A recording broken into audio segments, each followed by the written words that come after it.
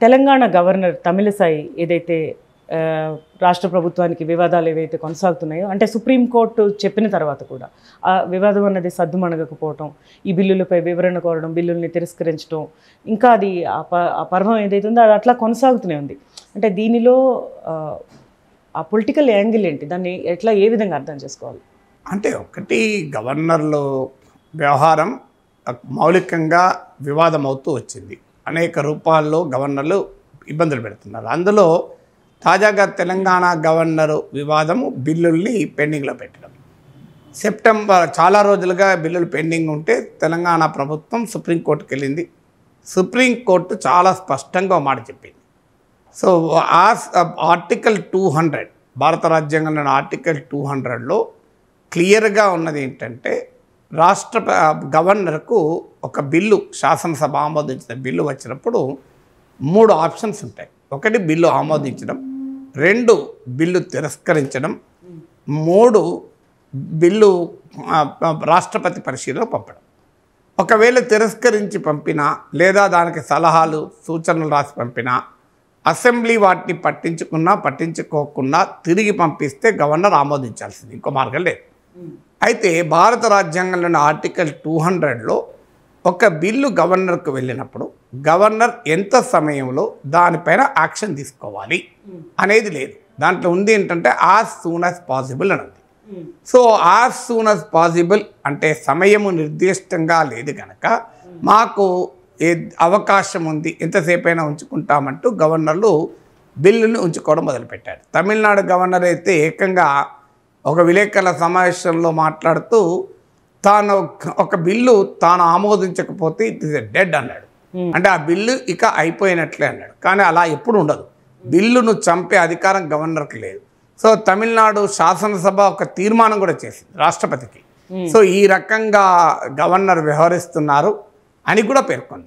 ఎందుకంటే భారత రాజ్యాంగంలోని ఆర్టికల్ త్రీ ఫిఫ్టీ ఫైవ్ ప్రకారము ఒక రాష్ట్ర ప్రభుత్వము రాజ్యాంగబద్ధంగా పని చేసేలా చూడడం కూడా కేంద్ర ప్రభుత్వ బాధ్యత. So article three fifty five ప్రకారం ఒక రాష్ట్ర ప్రభుత్వం రాజ్యాంగబద్ధంగా పనిచేయడం అంటే రాష్ట్ర ప్రభుత్వంలో గవర్నర్ కూడా వస్తాడు. ఎందుకంటే గవర్నర్ కూడా ప్రభుత్వాధినేత అఫీషియల్గా. సో అందువల్ల గవర్నర్ రాజ్యాంగబద్ధంగా వ్యవహరించినప్పుడు కేంద్ర ప్రభుత్వం చెప్పాలి. అయితే అన్ఫార్చునేట్లీ కేంద్ర ప్రభుత్వమే దీని వెనకాల ఉండడం వల్ల గవర్నర్ల పైన ఏ చర్య తీసుకోవడం లేదు. ఇది ఈ ఈ కొత్తదే కాదు. వాస్తవంగా జ్ఞాని జైల్ సింగ్ కాలంలోనే జరిగింది ఒకటి. ఇది చాలా ఇంట్రెస్టింగ్ హిస్టరీ జ్ఞాని జైల్ సింగ్ ఇందిరాగాంధీకి అత్యంత విధేయుడు. మీరు ఇందిరాగాంధీ ఇంట్లో చీపురు పట్టుకొని ఊడవమన్నా ఊడుస్తానని వ్యాఖ్యానించి పెద్ద వివాదమయ్యాడు. కానీ ఆపరేషన్ బ్లూ స్టార్ విషయంలో ఆయన నొచ్చుకున్నాడు. అంటే స్వర్ణ దేవాలయంలోకి యాక్షన్ జనరల్ బింద్రాన్ వాలయ సమయంలో తర్వాత రాజీవ్ గాంధీకి ఆయనకు కొంత డిఫరెన్సెస్ వచ్చాయి. రాజీవ్ గాంధీ ప్రభుత్వము ఇన్ ఇండియన్ పోస్టల్ బిల్ అనేటువంటి ఒక బిల్లును తీసుకొచ్చినప్పుడు ఆ బిల్లును జ్ఞాని జైల్ సింగ్ తిరస్కరించకుండా ఆమోదించకుండా తన వద్దే పెట్టుకున్నాడు. సో ఒక రకంగా వీటో అంటే దానికి ఏ చర్య తీసుకోకుండా ఆపేశాడు. సో ఆ ఆ రకంగా చర్య తీసుకోకుండా ఆపడం వల్ల జరిగినటువంటి పరిణామం ఏంటంటే అప్పుడు కూడా ఈ చర్చ వచ్చింది. మరి ఎలా ఇలా రాష్ట్రపతి సో అలాగే ఉంచుకోవచ్చా బిల్లును అని. సో ఆ తర్వాత ఇక గవర్నర్లందరూ ఈ పని చేయడం మొదలుపెట్టారు.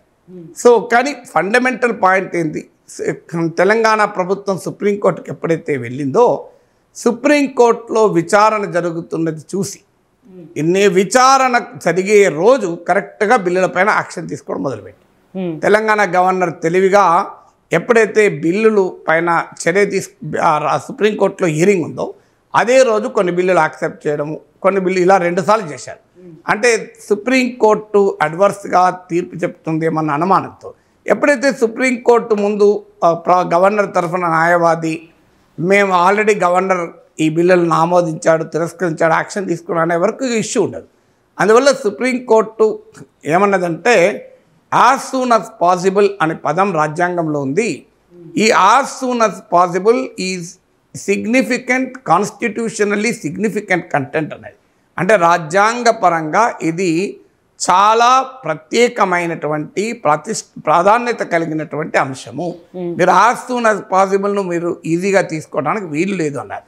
వాస్తవంగా తెలంగాణ ప్రభుత్వం తరఫున గవర్నరు తెలంగాణ ప్రభుత్వం తరఫున లాయర్ దుష్యంత్ దాబే కోరింది ఏంటంటే మీరు క్లియర్గా ఒక డైరెక్షన్ ఇవ్వండి. అసలు ఈ కాల పరిమితిలోగా గవర్నర్లు ఆమోదించాలి. అని కానీ సాధారణంగా రాజ్యాంగబద్ధమైన వ్యవస్థలపైన తీర్పులు చెప్పేటప్పుడు కాస్తంత జాగ్రత్తగా ఉంటారు న్యాయ వ్యవస్థ. అంత ఈజీగా సుప్రీంకోర్టు గవర్నర్లు నోటీసులు కూడా ఇవ్వవు. లాస్ట్ టైం గవర్నర్కు నోటీస్ ఇవ్వమని అడిగితే కూడా సుప్రీంకోర్టు అన్నది కాన్స్టిట్యూషనల్ ఆఫీసర్స్లో ఉన్న వాళ్ళకి మేము సహజంగా నోటీసులు ఇవ్వము. అందువల్ల దీనిపైన కేంద్ర ప్రభుత్వాన్ని తమ ఒపీనియన్ చెప్పమని అడుగుతామన్నారు. సో అందువల్ల సుప్రీంకోర్టు వాస్తవంగా ఈ తెలంగాణ గవర్నర్ చేసిన దానిపైన అవకాశంగా తీసుకొని కాన్స్టిట్యూషన్లో ఉన్నటువంటి ఒక డైమెన్షన్. సో ఆ డైమెన్షన్ ఏంటంటే ఎంతటి కా- ఎంత సమయంలో దాన్ని ఆమోదించాలి. ఇప్పుడు యునైటెడ్ కింగ్డమ్ కాన్స్టిట్యూషన్ మనం చాలా మట్టుకు ఆమోదించాం. కా- యూకే కే- రాజ్యాంగంలో కూడా ఇలా తన దగ్గరే పెట్టుకొని ఉండాలని ఎక్కడ లే ఉండాలా ఉండద్దా అని లేదు ఎంతసేపు ఉండాలని. కానీ ఇంతవరకు చరిత్రలో ఎప్పుడూ అలా అడ్డుకోలే. యూకే రా మా- రా- రా- సో అందువల్ల పార్లమెంటరీ డెమోక్రసీలో క్లియర్గా అనేక కేసులు సుప్రీంకోర్టు చెప్పింది. షంషేర్ సింగ్ కేసు ఇలా అనేక కేసుల్లో చెప్పింది. రాజ్యాంగం ప్రకారము గవర్నర్ సొంతగా యాక్ట్ చేసే అవకాశమే లేదు. ఒక మంత్రి మండలి సలహా మేరకే వ్యవహరించాలి. అందువల్ల మంత్రి మండలి సలహా లేకుండా బిల్లును అదే తన దగ్గరే పెట్టుకోవడం అనేది అవకాశమే లేదు. కానీ గవర్నర్లు ఆ పని చేస్తున్నారు. సో ఎట్టి పరిస్థితులు ఇది రాజ్యాంగబద్ధం కాదు. అందుకని అన్ఫార్చునేట్లీ సుప్రీంకోర్టు ఒక జనరల్ కామెంట్ వేసి వదిలేసింది.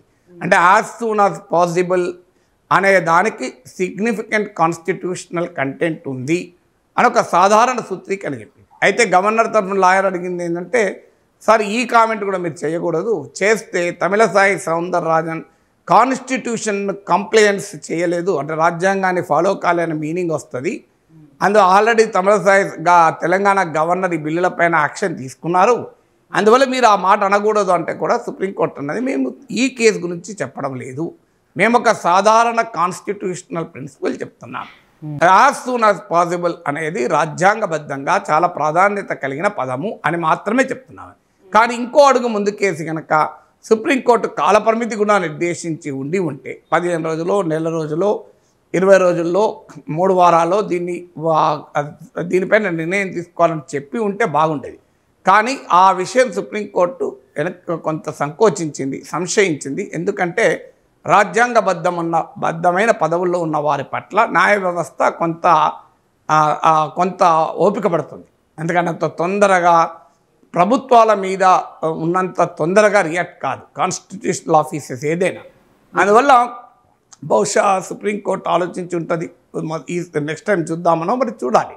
బట్ నా అభిప్రాయం అయితే ఖచ్చితంగా సుప్రీంకోర్టు కాలపరిమితి నిర్ణయించాల్సిన సమయం ఆసనమైంది ఎందుకంటే రాజ్యాంగంలో ఒక సదుద్దేశంతో ఈ కాలపరిమితి పెట్టలేదు. ఇప్పుడు ఆ ఉదాహరణకు ఫిరాయింపు నిరోధక చట్టం పైన డిస్క్వాలిఫికేషన్ నోటీస్ పైన కూడా ఎన్ని రోజుల్లో స్పీకర్ యాక్ట్ కావాలని ఎక్కడ రాజ్యాంగం లేదు. దాన్ని దాన్ని అవకాశంగా చూసుకొని స్పీకర్లు నిరవధికంగా తమకు అవసరం ఉన్నప్పుడేమో వెంటనే యాక్ట్ అవుతారు. తనకు అవసరం లేనప్పుడేమో దాన్ని నిరవధికంగా పెండింగ్లో పెడతారు. సో ఈ పరిస్థితి రాకుండా ఉండాలి అంటే విచక్షణ అనే పదం దగ్గర స్పష్టమైన నిర్వచనం ఉండాలి. ఆ దిశగా సుప్రీంకోర్టు భవిష్యత్తులో వెళ్తుంది అనుకుంటాను ఇప్పటి వరకైతే యాజ్ సూన్ యాజ్ పాసిబుల్ అంటే మీ ఇష్టం వచ్చినంత కాలం ఇండెఫినెట్గా ఏ నిర్ణయం తీసుకోకుండా ఉండడం అనేది కాదు. ఇంకో మాట కూడా సుప్రీంకోర్టు చెప్పింది. ఈ రాజ్యాంగంలోని ఆర్టికల్ టూ హండ్రెడ్కున్న ఫస్ట్ ప్రొవిజన్ ప్రకారమే ఇది యాజ్ సూన్ యాజ్ పాసిబుల్ నిర్ణయం తీసుకోవాలి అని. ఎందుకంటే రాజ్ గవర్నర్కి ఆప్షన్ లేదు. నాలుగో ఆప్షన్ బిల్లులు తన దగ్గరే పెట్టుకోవాలని ఎక్కడ ఆప్షన్ లేదు. మూడే మూడే ఆప్షన్స్ ఉన్నాయి. బిల్లు ఆమోదించడము తిరస్కరించడము రాష్ట్రపతి పరిశీలన పంపడం. బిల్లును నిరవధికంగా తన దగ్గరే పెట్టుకోవడం అనేది ఎక్కడా లేదు. అంటే ఇంగ్లీష్లో ఒక పదం ఉంది? అన్డెడ్ అని. సో బిల్లును అన్డెడ్గా ఉంచే అవకాశం లేదు. బిల్లు ఇది అన్ ఇది అంటే లైవ్ లైవ్లో లేదు డెడ్ డెడ్ కాదు. అంటే డెడ్ అంటే ఆ బిల్లు వెనక్కిపోతే డెడ్ అవుతుంది. లైవ్లో అంటే ఆమోదిస్తే లైవ్ అవుతుంది. కానీ ఇది undead English లిటరేచర్లో it's an interesting word undead అని. సో అంటే అన్డెడ్ అన్న అనే రీతిలో ఒక బిల్లు నుంచేటువంటి అవకాశమే లేదు.